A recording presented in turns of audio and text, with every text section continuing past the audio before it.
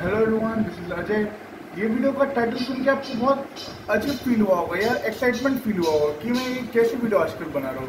बता दूँ, ये वीडियो का नाम है story of a single child या फिर life of a single child मैं सब बताना चाहूँगा कि सिंगल चाइल्ड में क्या मतलब क्या क्या देख रहा हूँ आजकल, या फिर आप लोगों ने भी एक्सपीरियंस किया होगा आपने जो भी सिंगल चाइल्ड हो गए, या जिनका कोई ब्रदर या सिस्टर नहीं हुआ है घर के इकलौते बेटे या बेटी है तो। तो इसी वीडियो में मेरे फादर मुझसे कुछ क्वेश्चन पूछेंगे उसके लिए और मैं अपनी फीलिंग एक्सप्रेस करूँगा। और आप लोग क्या लगता है क्या मुझे कमेंट सेक्शन में बताइए इसलिए शुरुआत करते हैं आज का स्पेशल वीडियो लेट्स बिगिन क्या जी आप अगर सिंगल चाइल्ड हो तो आपको ऐसा लगता है कि घर में सब काम आपको ही बताए जाते हैं मम्मी पापा आपको ही बताते हैं? कभी कभार लगता है अगर मैं मूड नहीं रहा तो लेकिन अच्छा भी लगता है कि मैं टाइम पास हो जाता है बहुत बार। हम्म, अच्छा तो आप अगर मान लो कि मान लो आपके भाई बहन होते तो बात अलग रहती है। जैसे आप सिंगल हो मम्मी पापा भी काम में बिज़ी रहते तो आपको घर घर में अकेलापन लगता है? हाँ लगता है। बहुत बार लगता है कि मेरा एटलीस्ट ब्रदर या सिस्टर जो भी हो, होता तो अच्छा रहता है। लेकिन जब मैं लोगों को देखता हूँ कि बहुत जगह से प्रॉब्लम्स होते हैं पेरेंट्स डिस्क्रिमिनेशन कर रहे दो बच्चों के बीच में ऐसे कुछ कोई भी डिस्प्यूट चलता है दो लोगों के बीच में तो देख के थोड़ा रिलीफ फील होता है मुझे लास्ट में कि नहीं जैसा है ठीक है अभी कंडीशन क्या हो सकते हैं। हम्म। और राखी आती है रक्षाबंधन आती है भाई दूज आता है उस समय में आपको थोड़ा बुरा लगता है? हाँ बुरा तो बहुत लगता है कि मेरी सिस्टर कोई है नहीं इसीलिए। लेकिन अभी अभी पिछले दो तीन साल से अच्छा लगने लगा है क्योंकि मैंने एक लड़की, मेरे स्कूल फ्रेंड है, उन्हें रैंडम उन्हें अपना सिस्टर मान लिया sister for my other mother I hope वो वही मेरा वीडियो देख रही होगी तो देख रहे हो तो हाय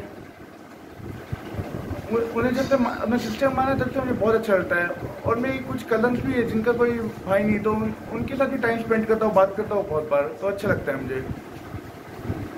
हम मैगी को प्रमोट तो नहीं करते, लेकिन आपको मैगी बनाना आता है, चाय कॉफ़ी बनाना आता है जब आप मैगी बनाते खुद अपने खुद ही तो अपने मम्मी के साथ शेयर करते तो आपको कैसे लगता है?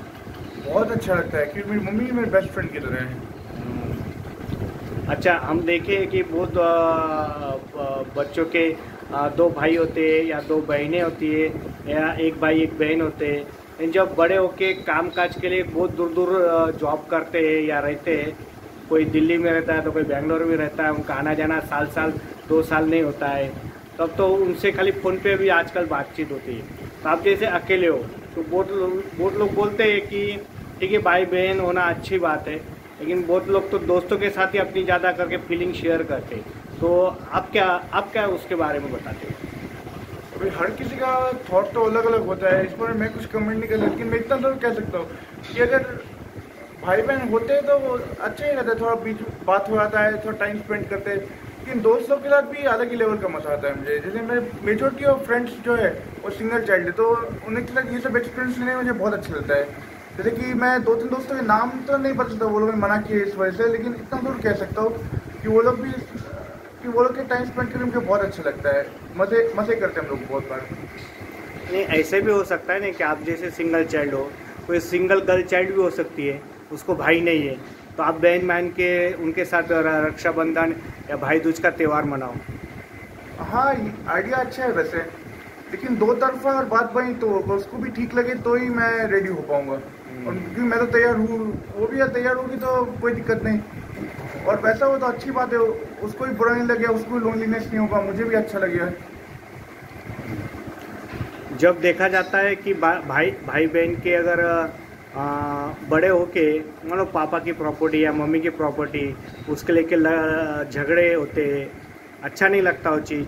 तो आपके आप तो सिंगल हो आपके बारे में तो ये होने वाला नहीं। तो इसके बारे में आप क्या बोलते हो? इसके बारे में मैं यही कहना चाहता हूँ कि जो सिचुएशन उसको तो अभी डाइजेस्ट करना मुश्किल है लेकिन अभी क्या कर सकते अभी है तो डाइजेस्ट करना ही पड़ेगा मुझे।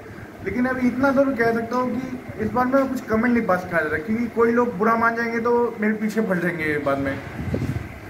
ठीक है, आपसे, आपके साथ सिंगल चाइल्ड की बातें करने के लिए बहुत अच्छा लगा। आपने बहुत अच्छा एक्सप्लेन किया सब बातों को। हाँ बोल।